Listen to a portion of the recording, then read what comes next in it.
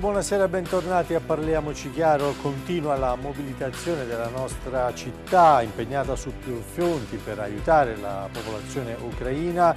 Da un lato l'accoglienza dei profughi in fuga appunto dal loro eh, paese martoriato dalla guerra con diverse decine fra soprattutto donne e bambini che sono giunte nel nostro eh, territorio e poi l'invio appunto in Ucraina di beni di prima necessità, farmaci, indumenti e quant'altro attraverso una serie di raccolte e iniziative a cui anche questa sera daremo eh, voce. Anzitutto presento qui in studio con noi e ringrazio Nicoletta Olivi, responsabile accoglienza COP22 della Fondazione Opera Santa Rita. Buonasera. Buonasera, che appunto si sta occupando e gestendo l'accoglienza dei profughi ucraini. Avremo Avremo poi in collegamento eh, fra pochi minuti anche l'onorevole Giorgio Silli, deputato di Coraggio Italia e segretario di presidenza della Camera dei Deputati, tanti contributi, tante testimonianze raccolte e tra appunto coloro che hanno eh, lasciato eh, l'Ucraina per eh, eh, recarsi qui da noi. E dunque donne appunto come dicevamo che hanno purtroppo lasciato lì i propri affetti per portare in salvo i, i propri bambini eh, che ascolteremo in un servizio realizzato da Marco Manzo, ma poi anche la testimonianza di un imprenditore pratese che la scorsa settimana per primi abbiamo intervistato, Mirko Vangi, anche lui fuggito con la propria famiglia dal nord dell'Ucraina dove appunto viveva da una quindicina di anni e che proprio ieri sera ha raggiunto la nostra città dopo ben cinque giorni di viaggio. Ascolteremo dunque anche la sua voce e poi ci collegheremo, anzi lo facciamo subito per un primo saluto con Lucrezia Sandri che si trova per noi a Montemurlo dove questa sera in programma una manifestazione, Montemurlo per la pace. Lucrezia, buonasera. Buonasera Giancarlo, buonasera a tutti i nostri telespettatori. Esatto, ci troviamo a Montemurlo per eh, dire no alla pace in questi giorni, per dire no alla guerra naturalmente. In questi giorni sono stati molti comuni e le amministrazioni che hanno organizzato manifestazioni con questo grido che si è levato dalle città, dalle comunità anche lontane tra loro e quindi questa sera a Montemurlo, come vedete, circondata da tanti bambini perché sono loro i protagonisti con tanti disegni preparati a scuola. Per esempio, qui c'è, come ti chiami? Dalia. Cosa hai preparato? Un cartellone. Faccelo vedere, spiegacelo. Cosa c'è scritto? Che non dobbiamo fare gli stessi errori che hanno fatto Hitler e Mussolini. Dove l'hai preparato? A scuola con la terza eh, Alberto Manzi. A Montemurlo. Montemurlo, quindi nelle scuole montemurlesi si preparano questi disegni, questi cartelloni per dire no alla guerra, quindi a tra poco linea allo studio. Grazie Lucrezia, saluto in redazione come sempre Arianna Di Ruba, ciao Arianna.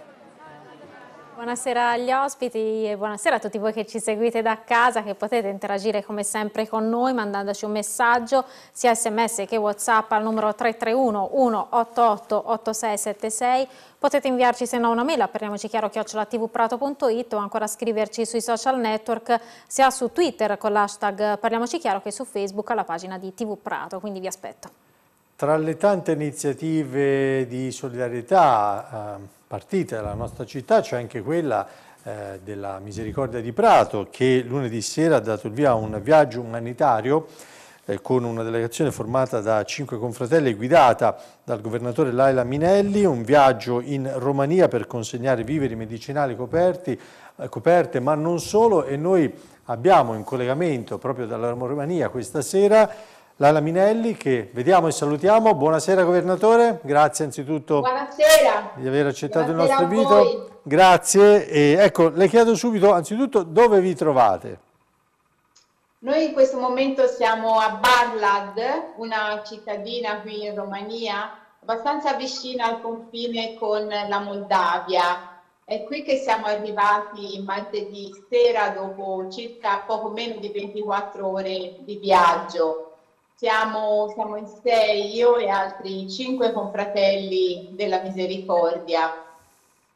Ecco, qual è la situazione eh, che eh, avete trovato? Insomma, in quella zona, se non erro, nelle zone che state visitando sono stati organizzati, no, approntati anche dei centri di accoglienza dei profughi che arrivano tramite la, la Moldavia, mi corregga se, se sbaglio. Sì, appunto come dicevo, qui il confine con la Moldavia è veramente vicino, la, la Moldavia è comunque una, uno Stato comunque piccolo, stretto edd è conseguentemente molto vicino anche il, il confine con l'Ucraina. Hanno predisposto qui dei centri di accoglienza, nello in particolare il comune di Sciultea, che è un, un, comune abbastanza piccolo qui vicino a Barlad. E ehm, noi avevamo già avuto dei contatti con questo comune negli anni precedenti per eh, un'altra iniziativa. E ehm, siamo venuti appunto qui, ieri è stato il primo giorno che ci siamo, siamo recati appunto lì nel comune, abbiamo consegnato a loro del materiale per permettere loro di continuare questa accoglienza loro riescono a, arrivare direttamente mh, al confine tra la Moldavia e l'Ucraina e a dare ospitalità a 30-32 fra donne e bambini. Okay. Restano nel loro comune per poco tempo, il tempo necessario per poi eh, riposarsi, rifocillarsi, eh, magari poter prendere abiti eh, puliti, asciutti, caldi e ripartire per il loro viaggio. Mm, questa è stata la prima tappa di ieri, poi ci siamo spostati proprio sulla frontiera di Albizia, è un posto di frontiera eh, sempre in prossimità, ma veramente pochi metri dal confine con la Moldavia. Anche lì c'è un punto di passaggio ehm, dei profughi e abbiamo appunto lasciato anche a loro del materiale, prevalentemente eh, cibo per bambini, che gli mancava in modo particolare. E, e, anche lì coperte calde, tutto quello di cui loro avevano bisogno per permettere loro veramente di aiutare le persone appena arrivano. Sono veramente, sono veramente tante le persone. Nella giornata invece di oggi siamo stati proprio in un, in un centro profughi, abbiamo avuto contatti con loro, con queste donne, con questi bambini. E ecco, le, le volevo stato... chiedere proprio, proprio questo, cosa, cosa, dicono i volti di queste, di queste donne? Eh. Che impressione avete, avete avuto? I volti di queste donne sono volti che, che, che, che, ci raccontano la guerra, i loro occhi, i loro sguardi, in dei momenti persi veramente anche nel vuoto, ci raccontano il dramma di questa guerra. Vedere queste donne con, eh, più o meno giovani, con i loro bambini, eh, a pensare, a decidere eh, dove andare, a proseguire la loro vita è veramente un dramma immenso. Noi ci siamo confrontati con qualcuno di loro e un attimo prima ci dicevano eh, io andrò a Malta, un attimo dopo venivano a chiedere a noi ma possiamo venire in Italia e subito dopo no abbiamo deciso andiamo in Germania. Quindi questo per farvi capire il loro stato d'animo, il fatto di, di sentirsi in questo momento senza una terra, di vivere fortemente il senso di patria per quella patria che loro hanno lasciato, dove hanno lasciato i loro, i loro uomini, i loro mariti, i loro padri, ecco, e ritrovarsi adesso a, a trovare veramente un posto dove proseguire la loro vita. Eh, vedere queste donne sedute con, con, lo sguardo perso veramente nel vuoto, anche le, le, le persone, le signore, quelle più anziane, eh, è veramente pesante, doloroso, vedi veramente la guerra nei loro occhi. Mm, ecco, fortunatamente siamo riusciti comunque anche con i mezzi e la tecnologia attuale a comunicare con loro e questo è stato molto bello. Abbiamo avuto modo anche di, di dedicarsi un po' ai bambini ecco, e a giocare un po' con loro. Infatti avete svolto anche questo importante compito, no? di, di, se così possiamo dire, di animazione con i bambini del posto. Come siete stati accolti da loro? Oh, noi quando siamo arrivati siamo stati accolti con un applauso e un grazie Italia che ci ha fatto veramente commuovere perché, perché è stato veramente bello ecco, questa accoglienza. E i bambini subito si sono messi lì a giocare con noi, felici ecco, di, di averci lì con loro. Ed è stato veramente, veramente molto, molto bello.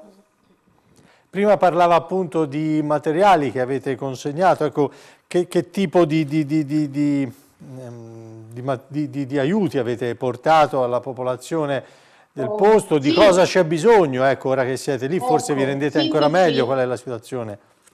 Sì, allora eh, c'è bisogno veramente di tutto, a partire da, dai generi alimentari, soprattutto per l'infanzia, abbigliamento, a biancheria intima, noi abbiamo veramente spazzolino, dentifricio, eh, de, de, proprio tutto quello che riguarda l'igiene della persona. Abbiamo allestito e subito aperto le nostre scatole e messo lì a disposizione in modo tale che loro potessero prendere tutto quello che gli occorreva, asciugamani, coperte, le scarpe. Una signora è venuta proprio a chiederci se avevamo le scarpe per i bambini, ovviamente sì, le avevamo e quindi hanno potuto prendere veramente quello che gli occorreva. Poi abbiamo con noi anche dei farmaci e, e li abbiamo messi ovviamente a loro disposizione. E in questo caso per la distribuzione ci siamo fatti comunque aiutare dal medico della, del, del, comune, della città appunto di, del comune di Ciuletea, in modo tale che dire, queste mamme eh, fossero comunque aiutate dal medico eh, nel, nel, comprendere i farmaci che, che, gli venivano dati a cosa occorrevano. Ovviamente eh, erano quelli che loro hanno preso i farmaci da banco, però ecco per dire le mamme magari cercavano la tachipirina da potersi portare dietro nel caso in cui il bimbo potesse avere febbre o vitamine, tante persone eh, prendevano volentieri gli integratori di vitamina, ma ho in mente una signora anziana che, che, è venuta lì e in ucraino mi, mi, diceva una parola, io ho capito essere diabete e a quel punto aiutandoci con, con Google Traduttore abbiamo capito che la signora appunto stava cercando un farmaco a base di metformina e noi l'avevamo e quindi gli ho fatto vedere le confezioni, l'avevamo addirittura di due dosaggi, da 500 e da 750 e quando uh-huh. lei ha visto il dosaggio giusto, il suo, mi ha abbracciato veramente tanto perché aveva finalmente il farmaco di cui aveva bisogno. Ecco, Minelli, un'ultima domanda. Eh, la prossima tappa del vostro viaggio, quanto resterete ancora in, in Romania prima di ritornare a Prato? Allora, noi domani mattina ci muoveremo nuovamente per poter raggiungere altre postazioni, altri luoghi dove fanno accoglienza ehm, per, appunto, per i profughi, per riuscire veramente a dare aiuto a più persone possibili. Eh, pensiamo di concludere la distribuzione del nostro materiale nella giornata di domani e quindi poi ripartire per tornare in Italia. Mm, in realtà eh, non, non, abbiamo portato con noi in questo viaggio, in questa missione, tutto il materiale raccolto. La città di Prato, permettetemi veramente di ringraziare tutti, tutti i pratesi, ha dimostrato una generosità commovente veramente. Le donazioni che ci sono arrivate di materiale sono state tantissime, al punto in cui noi siamo partiti carichi più che potevamo ma abbiamo talmente tanto materiale che nei prossimi giorni da Prato stanno già, stanno già organizzando la partenza per, per, un tir per farla arrivare qui ai nostri contatti, ai, ai contatti che, che stanno ovviamente come dire, crescendo, aumentando in questi giorni nostri di permanenza. E veramente grazie, grazie a tutta la città di Prato che ha risposto in modo così generoso. E io scusate, ma colgo veramente l'occasione di, di, di, ringraziare anche tutti i nostri confratelli e le consorelle di, di, della Misericordia di Prato, di tutte le sue sezioni, che tanto si sono impegnati in questi giorni per la buona riuscita di questa missione, preparare tutti gli scatoloni e raccogliere tutto quanto. Grazie, siamo anche noi che ringraziamo voi per quello che, che state facendo e per questa bella testimonianza. Grazie ancora e ovviamente Grazie. vi auguriamo buon proseguimento di questo viaggio che sicuramente eh, come dire, no, ci, ci, avvicina, seppur a distanza di chilometri, purtroppo a, a quello che è il clima no, che si vive in quei territori e che noi stiamo cominciando ad apprendere direttamente anche dalla voce no, delle, e dalle storie delle, delle donne, dei, dei profughi che stanno arrivando sul nostro territorio. Grazie Governatore, grazie ai confratelli che vediamo alle sue spalle, li salutiamo.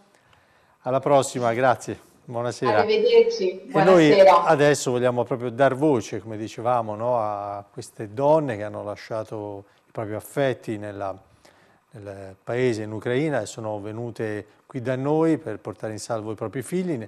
Ascoltate alcune, non solo, anche altre testimonianze che Marco Manzo ha raccolto in questo servizio. La paura per la guerra vissuta sulla propria pelle, il dolore di chi è costretto ad abbandonare la propria terra, la fatica del viaggio, la speranza di trovare accoglienza e il desiderio di tornare prima possibile a casa. È un fiume di persone e sentimenti quello che scorre dall'Ucraina verso gli altri paesi europei, anche l'Italia ha aperto le proprie porte e decine di profughi, soprattutto donne e bambini, sono arrivati e continuano ad arrivare anche a Prato.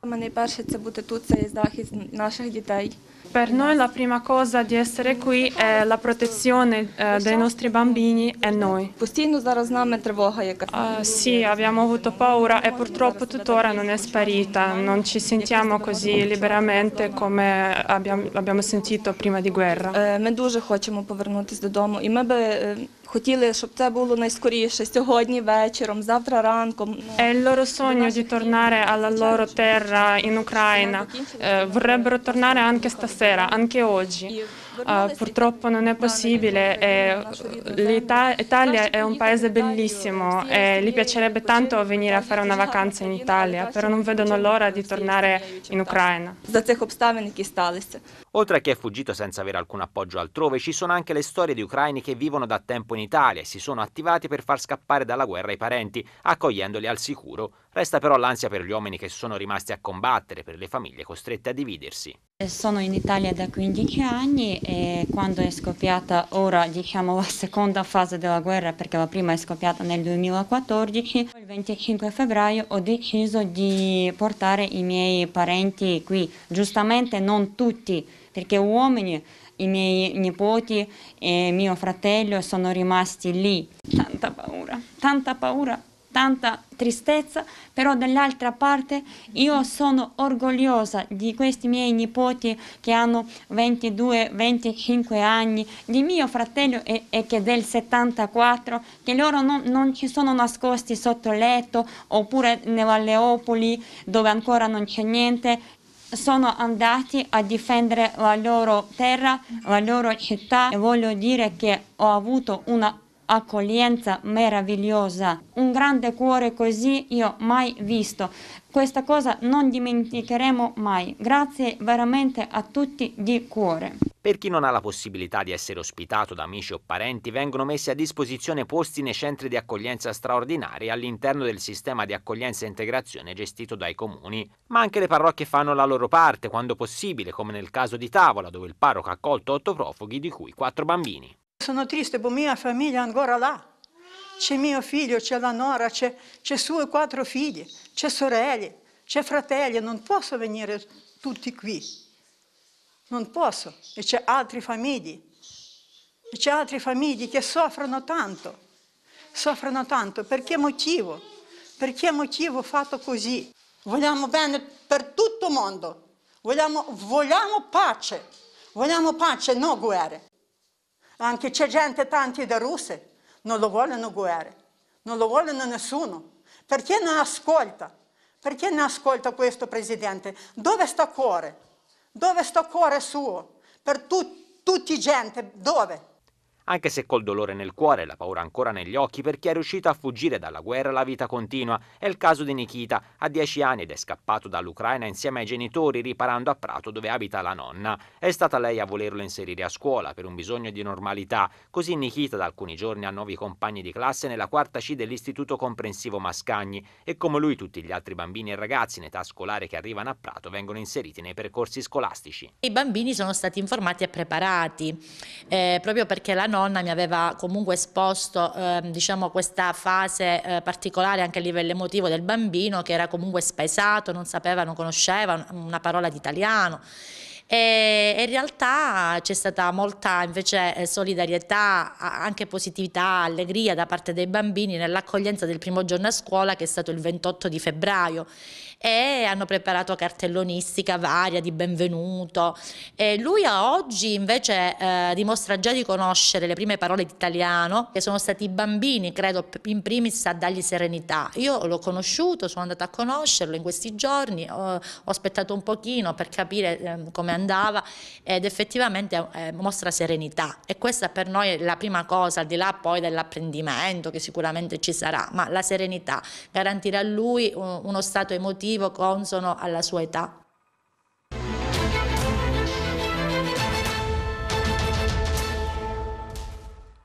Intanto ha preso il via la manifestazione Montemurlo per la pace, allora subito la linea Lucrezia Sandri. Lucrezia. Eh sì Giancarlo, noi abbiamo una storia incredibile che abbiamo trovato proprio mentre eravamo qua in Piazza della Libertà, la signora Tatiana che lavora e vive a Montemurlo e che è andata a prendere con la sua macchina la figlia e la nipotina al confine.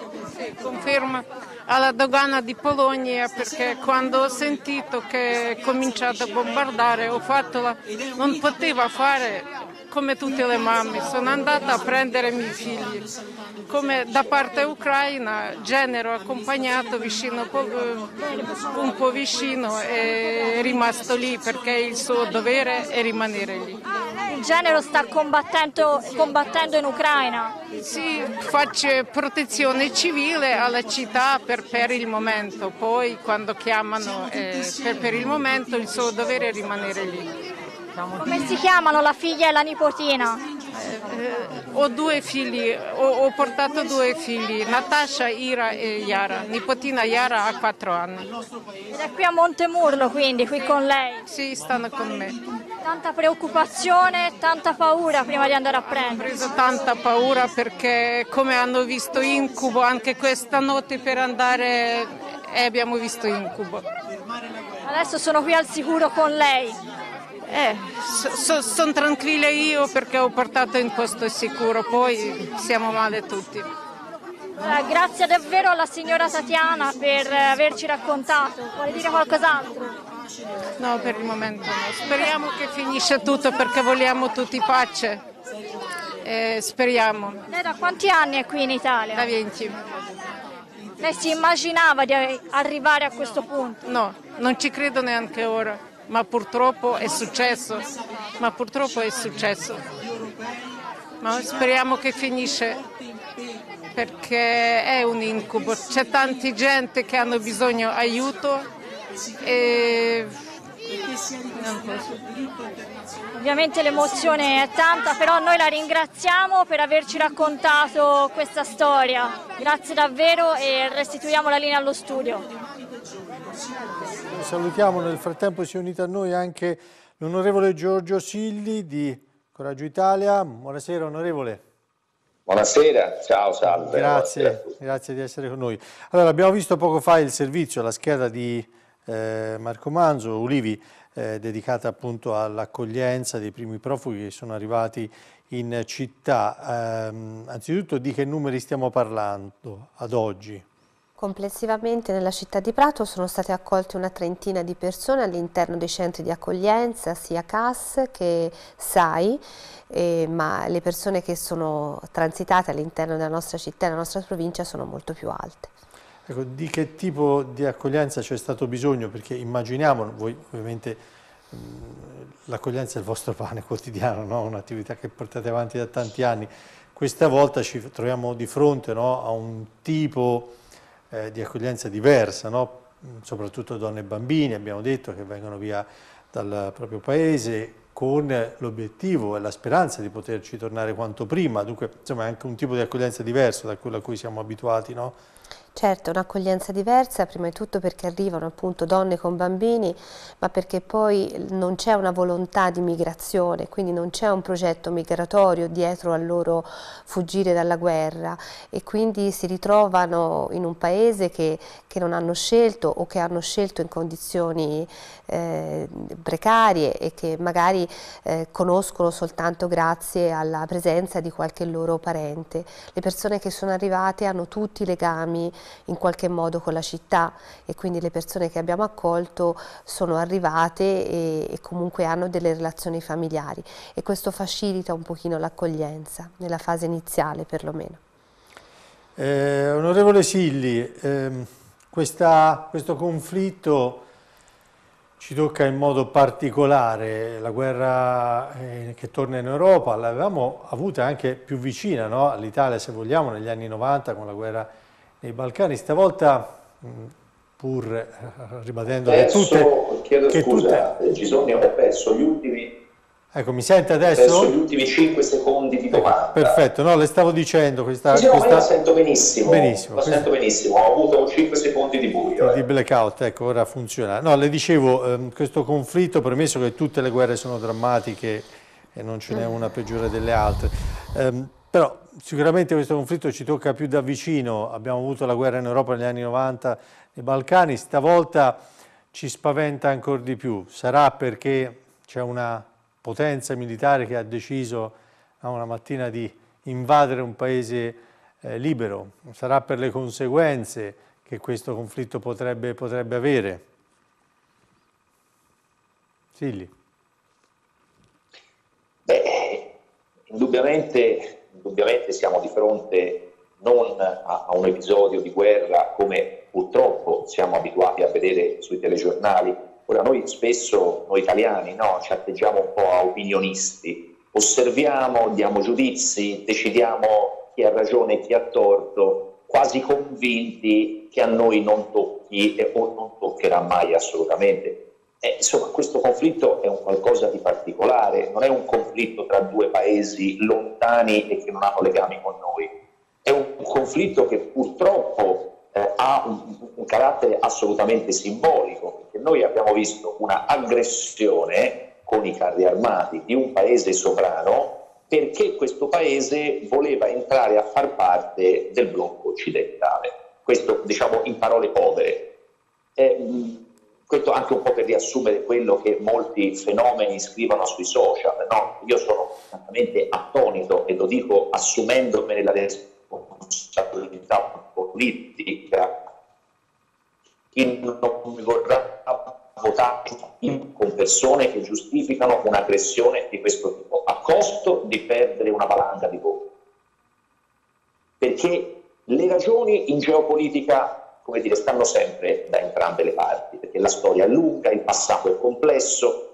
Eh, in geopolitica, diceva Andreotti, non esistono i buoni o i cattivi, in geopolitica esistono gli interessi nazionali.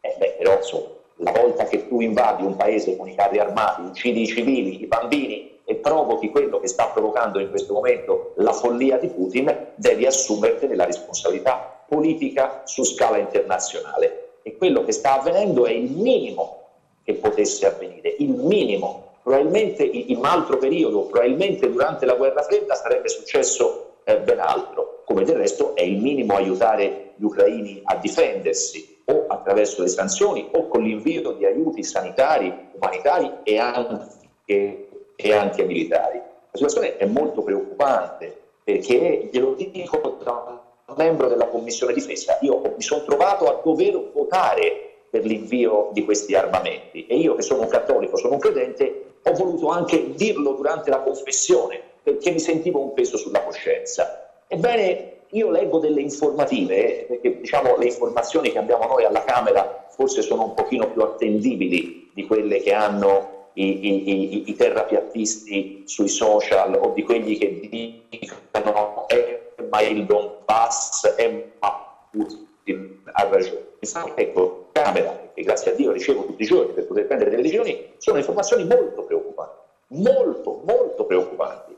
Perché anche se dovesse, come dire, scoppiare la pace domani mattina tra Ucraina e Russia, e non scoppierà, questa eh, roba ha creato uno squarcio e avrà degli strascichi geopolitici per 10 Certo. o 15 anni.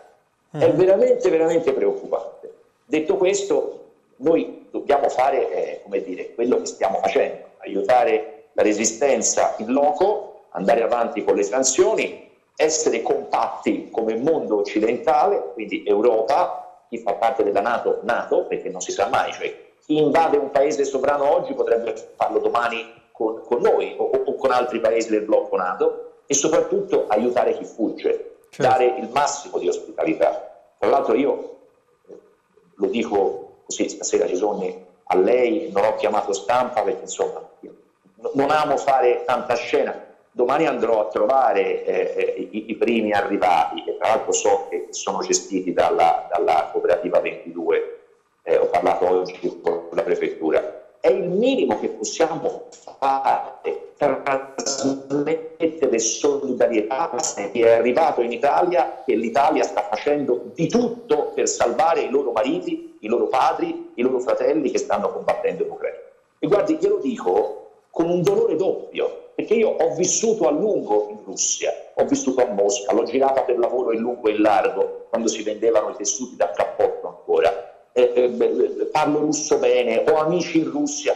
Quindi, come dire, dover, dover additare la Russia come responsabile in questo momento per me è un dolore doppio. Ma questo è un momento che non, non dà spazio ai tentennamenti. Certo. Momenti Anche perché- si può fare anche i filosofi, no? E dire, eh, ma in passato lui ha ragione, lui ha torto. In momenti di guerra o si sta da una parte o si sta dall'altra, con tutto quello che ne consegue, sia da un punto di vista umanitario che economico che eventualmente militare. Anche perché in questo Quindi caso Sili... Concludo. Sì. No, le dicevo anche perché in questo caso Diciamo- Sili, al di là del... Non, non c'è in gioco soltanto no, la sovranità, giustamente, no, dell'Ucraina, ci sono- qui c'è in ballo eh, valori come democrazia e libertà che ci riguardano tutti da vicino, no? non è solo una guerra dell'Ucraina contro la Russia.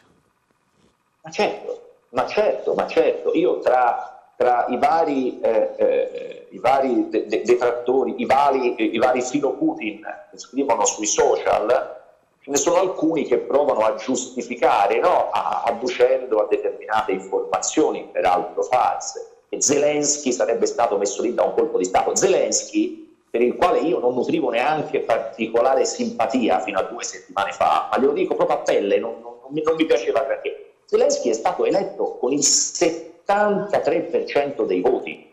Probabilmente il presidente filoamericano era quello prima, come prima ce n'era un altro filo russo, ma Zelensky per l'appunto sembra essere forse l'unico eletto a larghissima maggioranza in rappresentanza del popolo. E chi dice che l'Ucraina dovrebbe arrendersi, eh, insomma, fa rigirare nella, ne- nella tomba i partigiani o tutti coloro che hanno fatto la resistenza. Ma stiamo perdendo, Sili. Vediamo se riusciamo... Il 3% del popolo non può e non deve far arrendere il suo paese. Certo, vediamo se riusciamo a migliorare anche il collegamento con Sili. Intanto eh, vediamo Lucrezia Sandri che è nuovamente con degli ospiti accanto da Montemurlo dove è in corso la manifestazione Montemurlo per la pace. Prima nel precedente collegamento abbiamo visto anche il sindaco Simone Calamai no? tenere il suo, il suo discorso, poi lo avremo anche ai nostri microfoni. Lucrezia. E così soltanto Sì, Giancarlo, in una piazza della libertà ormai veramente affollata, tanti montemurlesi hanno risposto all'invito dell'amministrazione comunale a riunirsi in piazza per levare questo grido dalla comunità montemurlese, appunto dire stop alla guerra in Ucraina. Io, sono con in particolare tre ospiti, appunto, come hai detto, Giuliano Manzione, commissario di Oste, Daniele Lombardi, presidente della Misericordia di Montemurlo e Francesco Messineo del CISOM. Tutte associazioni che sono impegnate in queste ore, in questi giorni per portare farmaci, coperte, eh, indumenti, tutto ciò che possa servire alla popolazione oppressa in Ucraina. Farmaci, dicevamo, il CISOM in particolare sta coordinando tutte queste raccolte. Il CISOM eh, sta lavorando sul territorio sulla base di un progetto che è partito dal nostro, dalla nostra direzione nazionale. Stiamo raccogliendo farmaci e generi di prima necessità da destinare alle popolazioni ucraine in fuga dalla guerra. Già da sabato scorso abbiamo attivato i primi presidi davanti alle farmacie del territorio comunale e il prossimo fine settimana saremo nuovamente presenti davanti alle farmacie e anche davanti alle parrocchie per raccogliere generi di prima necessità. Inoltre a livello nazionale, grazie ai nostri Gran Priorati e a tutto l'Ordine di Malta, è stata attivata una raccolta di fondi a favore dell'assistenza che viene fornita a tutti i profughi provenienti dall'Ucraina. Tutte le informazioni potete trovarle direttamente anche sul nostro sito istituzionale che è www.cisum.org. Ovviamente anche tutte le misericordie sono impegnate in questi giorni, in quali attività in particolare a Montemurlo? Allora, diciamo che praticamente le nostre sezioni Montemurlo e Oste si sono eh, aperte a ricevere appunto la grande solidarietà della nostra comunità che ci hanno letteralmente so sommersi con tutti i beni di prima necessità che servono eh, a questo popolo che è stato colpito da questa calamità inaudita. Eh, per giorni sono arrivate eh, tutte le derrate alimentari, medicinali, ehm, vestiti, e i nostri volontari devo dire che come sempre si sono eh, diciamo, immedesimati nella situazione e si sono prestati a inscatolare tutta questa roba per poi creare le colonne mobili che le porteranno, le hanno già portate con due grandi viaggi, con un viaggio della nostra arcionfraternita al confine appunto ucraino. Abbiamo visto infatti il cuore grande dei Montemurlesi sì, come sempre. Sì, il cuore grande dei Montemurlesi e non solo. Tengo a precisare che già da tre giorni c'è due camion che sono in Romania ai confini con la Moldavia dove stanno portando i, beni, i beni di, prima, di prima, necessità, medicinali, coperte e quant'altro. So, ci sono sei nostri volontari, compresi il governatore della Misericordia di Prato e il viceprovveditore, che sono lì da tre giorni a cercare di distribuire di fare il massimo che è possibile. Infatti è un impegno che anche come TV Prato abbiamo documentato, intanto stanno andando avanti sul palco le dimostrazioni, anche le cose preparate dai bambini, dai ragazzi, letture di poesie e di canzoni e quindi vi lasciamo, restituiamo per ora la linea allo studio. Grazie Lucrezia e visto che appunto in questo collegamento hai fatto riferimento no, a una serie di iniziative che da Montemurlo sono partite per aiutare la popolazione ucraina in questo servizio, ne ricordiamo altre, a cominciare dalla raccolta eh, promossa dalla Caritas in collaborazione con l'associazione Cieli Aperti. Vediamo. Ancora una volta la generosità dei pratesi non si è fatta attendere. In tanti hanno aderito alla raccolta promossa dalla Caritas diocesana a sostegno della popolazione ucraina duramente colpita dalla guerra. Molte le persone che hanno portato materiale nel magazzino dell'Associazione Cieli Aperti di Via Roma che collabora all'iniziativa, aperto il lunedì, mercoledì e venerdì dalle 9 alle 12. L'invito è quello di raccogliere prodotti alimentari e per l'igiene personale, coperte e sacchi a pelo per dare conforto e aiuto alle persone in fuga e sono tanti anche coloro che hanno dato la loro disponibilità per aiutare nel servizio di imballaggio. Noi siamo rimasti molto contenti, non ci si aspettava un'adesione così grande. Eh, stanno partecipando tanti volontari di tante fasce d'età, è arrivata tantissima roba e per fortuna ci sono i volontari perché altrimenti eh, da soli non avremmo potuto riuscire a impancalare tutto e a inscatolare tutto. Ora stiamo organizzando un primo viaggio verso la Polonia e poi ci stiamo appunto appoggiando a Don Gabriel per poi far partire il tutto verso la Romania. Comunque è bello vedere in questa situazione triste che un po' ci lascia non solo col fiato sospeso ma anche ci lascia l'amaro in bocca come la gente si sta organizzando per essere solidale nei confronti degli altri. Federfarma e Ordine dei Farmacisti hanno deciso invece di donare medicinali salvavita alla Croce Rossa per inviarli in Ucraina alla popolazione colpita dalla guerra. Nelle farmacie pratesi tutti i cittadini possono contribuire personalmente alla raccolta acquistando e donando farmaci che la Croce Rossa spedirà in Ucraina. Abbiamo colto con grande piacere questa richiesta fatta dalla Croce Rossa di poter essere utili alla popolazione ucraina così eh, crudelmente martoriata in questo periodo e ci siamo attivati rapidamente per fare una donazione di farmaci, farmaci eh, importanti che ci sono stati richiesti e in, sulla base della lista eh, che ci è stata fornita eh, grazie anche alla collaborazione della nostra cooperativa, la Cofardis, abbiamo potuto rapidamente, perché in pochi giorni, mettere su un'attività eh, che ci ha permesso, attraverso questa donazione, di raccogliere un um, bel numero di medicinali che verranno inviati eh, in Ucraina. Oltre a questo, mh, noi come farmacie sul territorio ehm, siamo anche disponibili e stiamo facendo la raccolta di farmaci che i cittadini eh, vogliono donare e verranno sempre anche questi tramite eh, praticamente la Croce Rossa Italiana mandati in Ucraina.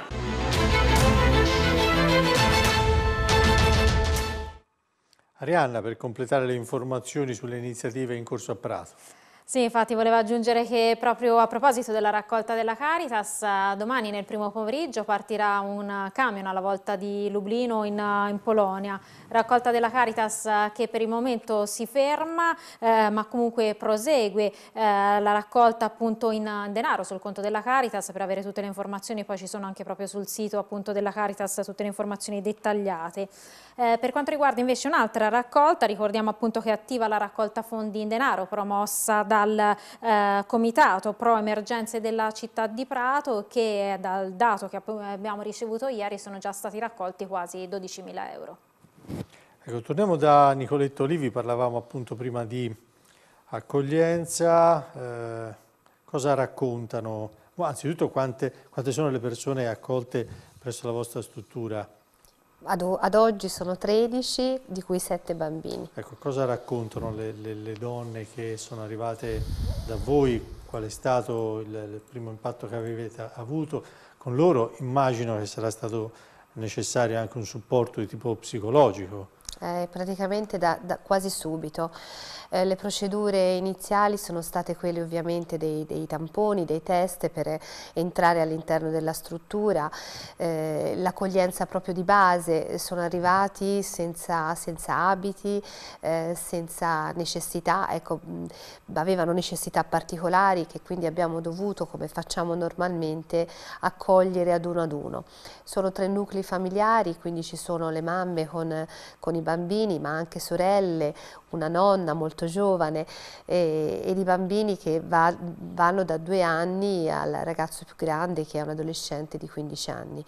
Quindi eh, il, la prima accoglienza è un'accoglienza proprio di base, dal, sono arrivati venerdì da noi, dal, dal sabato abbiamo subito attivato il servizio psicologico perché ci siamo subito resi della, conto della incredulità ecco, di queste, e di questa sofferenza che dovevamo accogliere e gestire anche da un punto di vista più professionale. Ecco, eh, come dicevi prima è un'accoglienza di tipo diverso che va quindi trattata con la, con la delicatezza anche eh, di farli sentire a casa, soprattutto i bambini che chiedono incessantemente del, del babbo e di poter tornare a casa propria. Ecco, se come immaginabile no, i numeri dovessero aumentare, il territorio è pronto a questo tipo di accoglienza. Abbiamo vissuto in passato no, flussi anche numericamente molto più, più, alti. In questo caso appunto però sottolineavamo è, è un tipo di, di, di accoglienza diversa, c'è bisogno di spazi che è più di, di, camere più che di posti letto, no? la mamma col bambino. Siamo pronti da un punto di vista anche strutturale per accogliere numeri più, più importanti? Eh, le emergenze sono sempre emergenze, quindi si trattano cercando di rispondere a dei bisogni. Ovviamente rispetto all'accoglienza di uomini soli che arrivavano eh, con l'emergenza sbarchi o alle famiglie che abbiamo già avuto eh, alla fine dello scorso anno con l'emergenza Afghanistan, qui lo spazio di cui hanno bisogno è più veramente a nucleo familiare. I nuclei familiari però sono molto diversificati, delle volte ci sono solo la mamma col bambino, delle volte la mamma con più figli e delle volte nuclei familiari che arrivano magari da eh, sorelle con entrambi, con, con entrambi magari un paio di bambini, quindi nuclei un pochino più ampi. È per questo che bisogna ragionare prevalentemente a camere, cercando di dare se possibile ognuno il suo spazio di privacy per rendere un minimo, eh, il, per se, preservare il senso della famiglia. Riteniamo che sia necessario fare questo in questo momento dove hanno eh, profondamente un senso di colpa, sembra paradossale, no? il senso di colpa dovremmo averlo noi eh, e invece il senso di colpa lo hanno loro nell'aver abbandonato prima eh, le proprie case, eh, i propri familiari, non solo i, i mariti, i compagni, i fratelli, eh, all'interno della struttura mh, mi hanno colpito, eppure siamo addetti ai lavori, ma eh, non sempre riusciamo no, eh, a, a, distaccarci emotivamente, anzi delle volte è proprio eh, necessario anche per creare un legame subito di fiducia farsi un po' contaminare giustamente da questa emotività eh, una mamma o un figlio di 21 anni là, un figlio è riuscito a portarlo via come minore e un figlio è lì che combatte insieme al babbo, quindi eh, è difficile riuscire a eh, consolare, per questo che il supporto psicologico è fondamentale. È fondamentale ed è altrettanto fondamentale sì, di no, garantire questi corridoi umanitari. Fondamentale garantire i corridoi umanitari. Diciamo che in qualsiasi guerra negli ultimi decenni, in teoria c'era la, la lealtà di permettere ai civili di andarsene. A quanto pare, devo dire, negli ultimi giorni ci sono stati dei problemi da questo punto di vista. Però sì, certo, è, è, fondamentale. Io ho ascoltato l'intervento precedente e, e, devo dire che sì, ho riscontrato anch'io con i contatti che ho avuto un certo senso di colpa, come se lasciare eh, a parte un pezzo della famiglia a combattere fosse una sorta di, di onta che queste persone, che queste mamme, che, che queste famiglie eh, si portano dietro. Tra l'altro ho, visto il, il servizio e, e, ho sorriso tanto. Mi, mi sarebbe venuto da dire all'andratese bravi Dio buono, eh, il, il, il, i farmaci, i generi di prima necessità. Intanto Silli, scusi se la interrompo, vediamo anche queste immagini davvero suggestive da Montemurlo con davvero decine e decine di, di luci, torce accese. Bello. Bello. Prego Silli, oh, scusi. Sì. No, e dunque dicevo io eh, sabato scorso sono rimasto a Roma proprio perché avevamo una seduta urgente della Commissione Difesa e nel frattempo avevo preso anch'io nel mio piccolo un po' di, di, generi alimentari, dei pannolini, dei beni e li ho consegnati in un punto mi trovo qua a Roma, la comunità ucraina si trova alla chiesa di Santa Sofia. Io sono arrivato, sono rimasto a bocca aperta, una fila di macchine per 40 minuti e tutti erano in fila ad attendere il proprio turno per donare qualcosa e aspettare una. Indubbiamente questo conflitto ha toccato noi italiani molto più tantissimi altri conflitti e probabilmente ha, ha risvegliato un senso di, di, di, di, orgoglio e di riconoscenza per quello che noi abbiamo. Lei Gisoni parlava di libertà. Ecco, la libertà è un po' come un braccio, no? tu ti accorgi che ti manca quando te l'hanno tagliato, finché ce l'hai non te ne rendi conto. E dall'esterno vedere che un paese che vive la sua vita normale, che queste donne che vivevano tranquillamente nelle proprie case con i bambini, con i mariti che facevano mestieri disperati, da un giorno a un altro si è visto invadere. Si è visto invadere da una forza straniera, in questo caso veramente il nemico che vuole sovvertire l'ordine di quel paese. Ed è un qualcosa che veramente si stenta a crederci ancora. Sono passati 10 giorni, 13 giorni, sembra sia passato un anno dall'inizio di questo, di questo È proprio così. La interrompo un attimo, Silly. Possiamo andare anche con l'audio dalla piazza? Non so se c'è anche Lucrezia Sandi pronta, ma comunque se no facciamo vedere le immagini della piazza illuminata a Montemurlo, per la regia, eccole.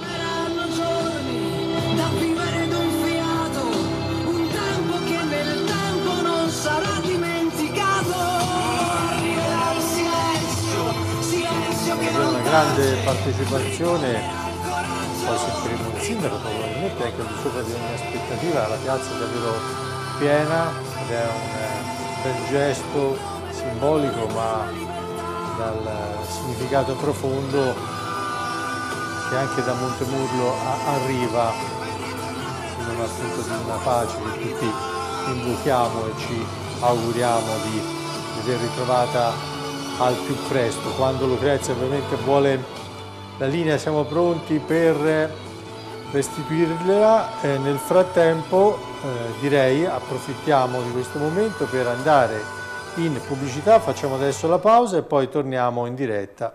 Parliamoci chiaro, fra poco.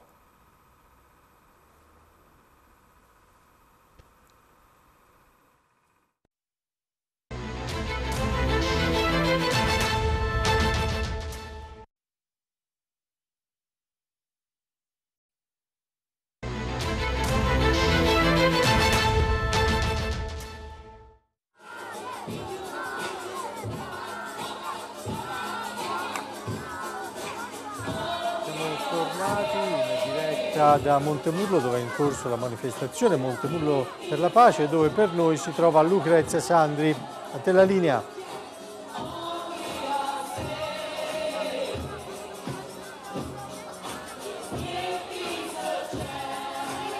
No, ancora non è pronto il collegamento con Lucrezia Sandri, mm, torneremo dunque tra poco da lei, intanto continuiamo a vedere le immagini che giungono da eh, Montemurlo Ehm, torno un attimo da Nicoletta Olivi, prima parlavamo eh, appunto eh, del, de, dell'accoglienza di donne e bambini presso il centro di eh, Savignano. Eh, siamo pronti? Sì, allora scusi un attimo, siamo pronti con Lucrezia Sandri da Montemurlo. Lucrezia, se ci sei, a te la linea.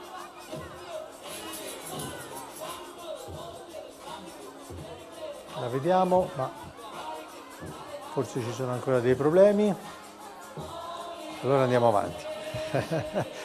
È il bello della diretta. Eh, certo. Le chiedevo l'inserimento anche, no? parlavamo anche di bambini, l'inserimento nei percorsi scolastici, abbiamo visto prima del servizio con il caso di Nikita, il primo bambino che è, è, è entrato eh, in una delle classi dell'istituto comprensivo Mascagni, per altri il percorso è stato avviato, immaginiamo che insomma non sia anche in questo caso no, semplice, visti gli ostacoli della lingua, insomma, eh, approntare eh, un ingresso nel mondo della scuola in pochi giorni, però per tutti questo percorso sì, è stato sì, avviato. Assolutamente, proprio per cercare di eh, dargli un senso di normalità. Ora è marzo, quindi siamo quasi alla fine dell'anno scolastico, quindi dei supporti sicuramente siamo in contatto con, con le scuole del, del comune di, di, di, Vaiano. Devo dire che eh, all'interno di questa accoglienza c'è questo eh, abbraccio ecco, della, di tutta la comunità e questo facilita molto la parte di, di, di inserimento e di progettualità poi sulle singole famiglie e sui singoli bambini. Quindi la collaborazione e tantissime associazioni, privati cittadini ci hanno contattato eh, chiedendo se potevano fare qualcosa. Ecco, sono tutti aspetti che ci fanno capire come veramente questo conflitto sia nelle, sia entrato prepotentemente nella vita di ognuno di noi e tutta questa energia va, va ben canalizzata nell'interesse, nella tutela esclusiva di queste persone che hanno bisogno di un'accoglienza di qualità e, e c'è necessità anche a mio avviso di, di, dare supporto ai privati e ai parenti che accolgono perché anche le persone che, che, abitano qui e che sono riusciti come si vedeva prima nel collegamento certo. la signora no, eh, di Montemurlo eh, ha la, la, la la bellezza di essere riuscita a portare i propri parenti, ma magari non tutti, quindi il supporto è necessario darlo anche certo. ai cittadini che accolgono, secondo me è molto importante, proprio perché non sappiamo i tempi ecco, che, a cui dovremo andare incontro e quindi dobbiamo accompagnare queste persone nei vari, nei vari momenti che si susseguiranno. Sui bambini però la particolare attenzione è cercarli di riportare subito al senso di normalità e quindi non solo la scuola, ma anche il tempo tempo libero, il gioco, la socializzazione importante e vedere così tanti bambini all'interno di, eh, di, di questa piazza colorata con i cartelloni mi fa proprio ben sperare. E abbiamo visto poco fa Lucrezia Sandri, nuovamente da Montemurlo, dovrebbe essere pronto il collegamento, dunque ti do la linea Lucrezia. Sì, sono in compagnia del sindaco di Montemurlo Simone Calamai e di Don Jarek, parroco della parrocchia di Fornacelle, quindi buonasera a entrambi. Sindaco, si è appena conclusa questa manifestazione partecipatissima qua a Montemurlo, però io le chiederei tutte queste, questi gridi che si, queste grida che si levano dalle comunità locali, che valore hanno?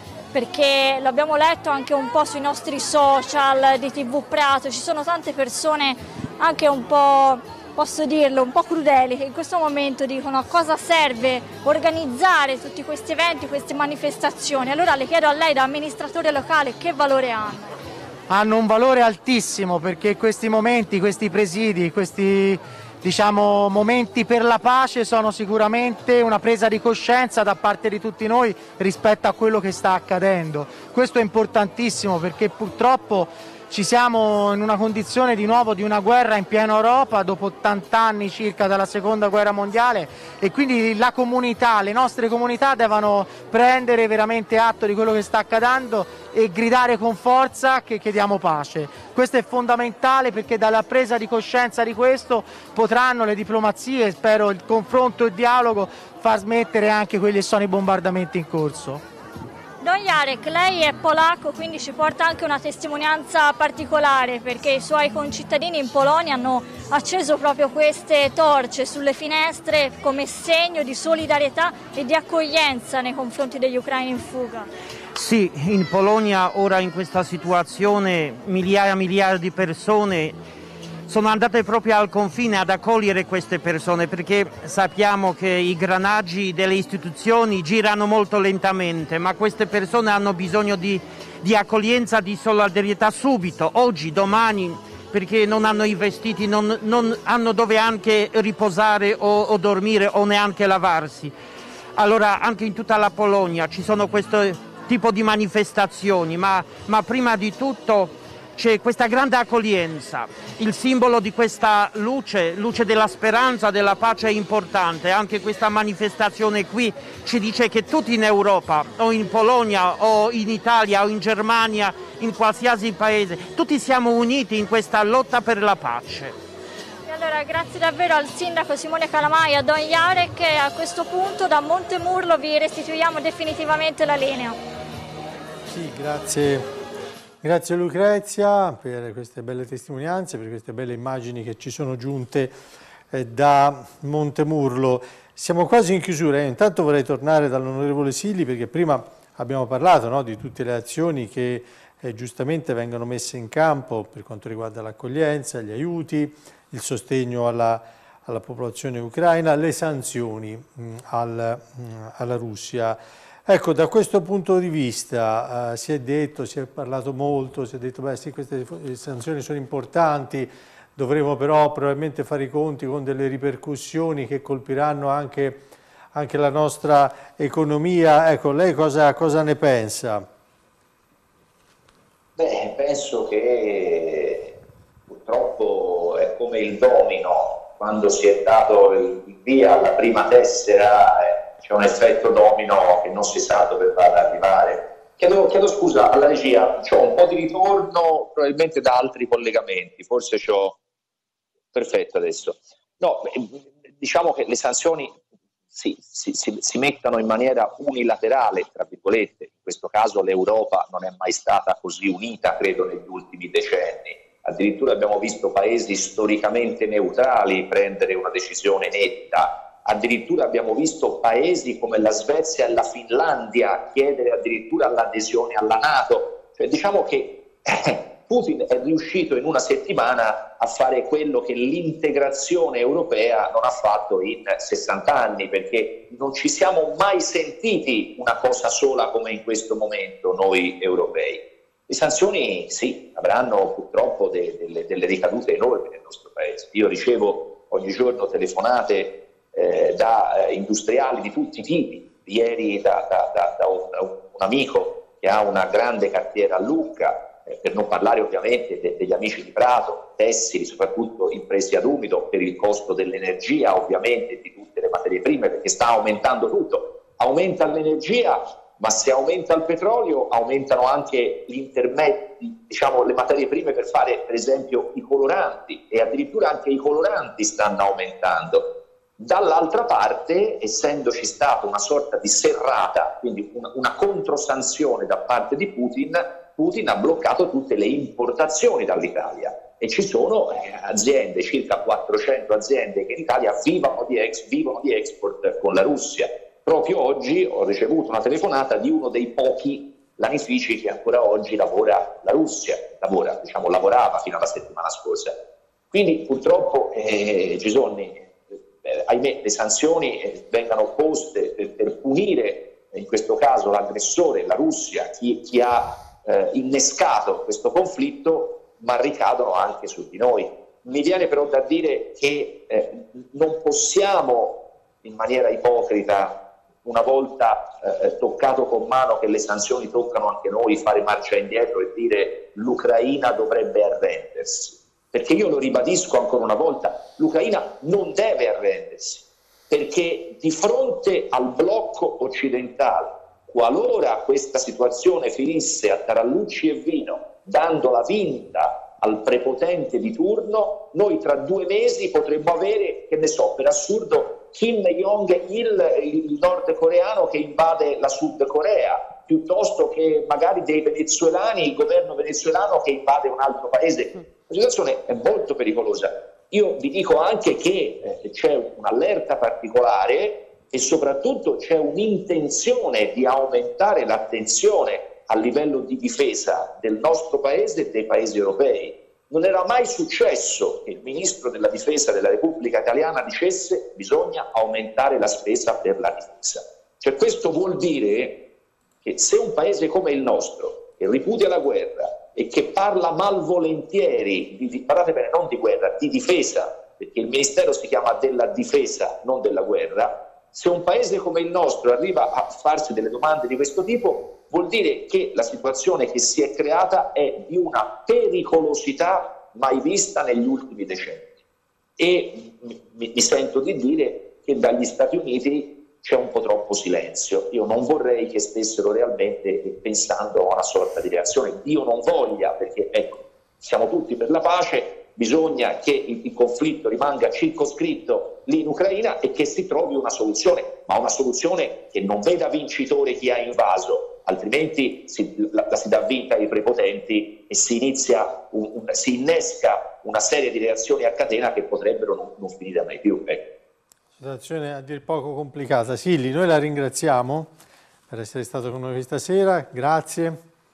Grazie a voi, buonasera. Buona serata, siamo quasi in chiusura. Eh, Olivi, le chiedo ancora due minuti di pazienza, vediamo un ultimo contributo che abbiamo realizzato, che è la testimonianza, come dicevo in apertura di trasmissione, con l'imprenditore eh, pratese Mirko Vangi, che appunto dopo eh, aver resistito con la sua famiglia eh, a, a Cerniv, o Cernikov come si pronuncia in, eh, in, in, in italiano, eh, ha resistito in un bunker, come lui stesso ci ha raccontato, per dieci giorni ha deciso di fuggire, di scappare dall'Ucraina, dove lui vive da 15 anni, dove gestisce un'azienda, un'importante azienda tessile, e dopo un viaggio di oltre 2700 km che è durato ben 5 giorni, pensate, è riuscito ieri sera ad arrivare finalmente a Prato. Lo abbiamo intervistato. Oltre 2700 km percorsi in 5 giorni per scappare da uno scenario di guerra come eh, quello dell'Ucraina, eh, a Cernigo peraltro le bombe sono cadute, cadono e continuano a cadere. Sì, purtroppo la situazione è così, la situazione non è molto semplice, è molto più brutta di quelle che uno vede in televisione sicuramente, eh, purtroppo ci sono interi edifici residenziali sono distrutti, le persone ormai del, paese sono costrette a vivere nei sottosuoli. La situazione è brutta, i chilometri via sono stati meno, forse non avevo mai fatto così veloce dalla Polonia a Prato, però purtroppo ci sono una cosa impressionante, una fila impressionante all'uscita dalla Polonia, so, dall'Ucraina verso la Polonia, si parla di da un giorno a tre giorni le persone sono in fila per uscire, eh, centinaia di migliaia di persone, eh, quasi tutte donne e bambini, ci sono bambini purtroppo che sono fuori anche fino a 20 ore all'esterno a temperature sotto zero che sono in fila per scappare, per andare dove nessuno lo sa, eh, ho avuto la fortuna di, di, di sapere dove andare, ma eh, probabilmente il 99% no. Io per fortuna mi sono rinchiuso in questo bunker dieci giorni, che poi non più o meno è un sottosuolo di un'abitazione costruito bene, in cemento armato, eh, interamente sottoterra, eh, però non avevo mai pensato di poter insomma, andare chiuso poi dieci giorni dentro una stanza eh, senza vedere l'esterno. L'unico esterno che vedevo lo vedevo tramite le telecamere, vedevo e sentivo quello era l'esterno e non era proprio bello insomma e più si sentiva comunque vada la sirena in continuazione di attacchi aerei, questo vuol dire pause di un'ora, tre ore sirena, un'ora pausa, tre ore sirena e uno era sempre comunque vada ad aspettare quando, quando finisce, insomma, è andata bene, non è cascato il missile qui insomma. La paura immagino ovviamente sia stata tanta, adesso il sollievo di essere comunque al sicuro, eh, c'è però immagino la voglia di poter tornare quanto prima perché ovviamente poi la sua vita ora è lì. Allora, purtroppo eh, le cose sono là, sono tante, eh, sì per fortuna io parenti, insomma quelli stretti su l'ho portati via tutti, però comunque vada la moglie non ha portato via parenti, l'amica della moglie che sono qui anche loro eh, purtroppo sono là. E sì, sono 15 anni di vita spesi, investiti in una nazione come l'Ucraina che quando iniziava a dare frutti, lo dico la verità, negli ultimi anni era quando iniziava il bene dell'azienda, uno rischia di non avere niente. Perché io tutti i giorni mi mandano foto di parti dell'azienda attaccate, eh, bruciate o distrutte e tutte le volte dico va bene ora, non è niente, andiamo avanti eh, però insomma si parla di già danni di centinaia di migliaia di euro, dice, va, si, si, ricostruiranno insomma. L'idea comunque vada è che finisca, l'idea è comunque vada di ricostruire quello che è stato distrutto e di andare avanti, insomma, non, non di dimenticarsi l'Ucraina, almeno per ora non mi posso permettere di dire di voglio dimenticare quello che c'è là. Spero che finirà e spero che finirà il prima possibile per poter poi ricostruire e ripartire da una situazione che comunque vada non semplice.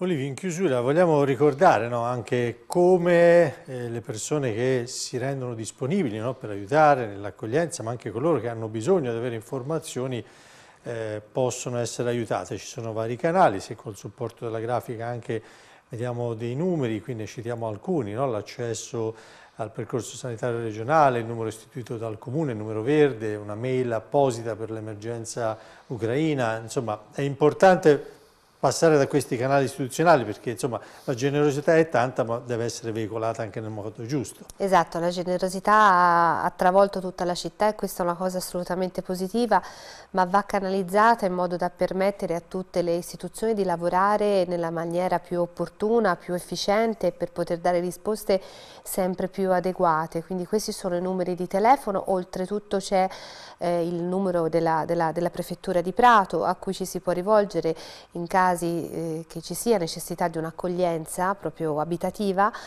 e, e, poi la parte sanitaria, la parte ovviamente della, della, questura e dei comuni che sono sempre l'interfaccia ecco, più, più, utile sui territori.